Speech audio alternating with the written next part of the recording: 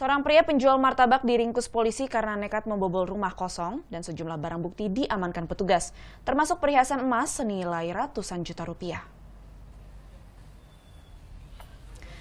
Berprofesi sebagai penjual martabak, Roni Rodiansyah ditangkap polisi di rumahnya.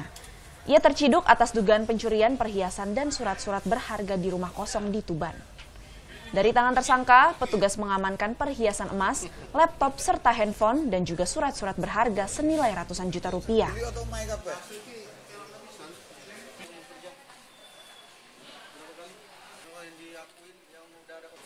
Kasus ini kita kembangkan, sudah ada dua orang pelapor lagi. Jadi sementara ada tiga laporan yang sudah masuk. Tapi tidak tertutup kemungkinan melihat barang bukti yang banyak seperti ini mungkin lebih dari tiga TKP dan nanti kita akan kembangkan terus. Sementara itu, salah satu korban pencurian mengungkapkan banyak perhiasannya yang hilang dan diperkirakan nilainya lebih dari 100 juta rupiah.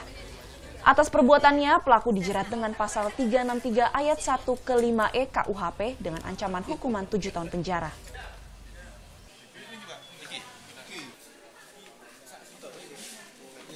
Atau main apa?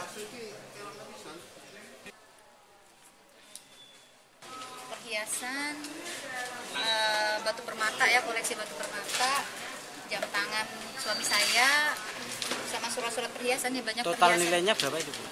Lebih dari 100 juta lebih ya. Kalau waktu itu sering booming batu